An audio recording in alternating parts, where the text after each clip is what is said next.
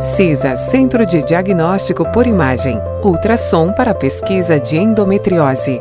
Endometriose é uma patologia crônica que consiste no crescimento de células endometriais fora da cavidade uterina. Pode acometer os ovários, o intestino, a bexiga e é grande causa de infertilidade, dor nas relações sexuais e cólicas. Vários exames podem ser utilizados para o diagnóstico da endometriose, porém, atualmente, o ultrassom para pesquisa específico para endometriose está sendo muito utilizado.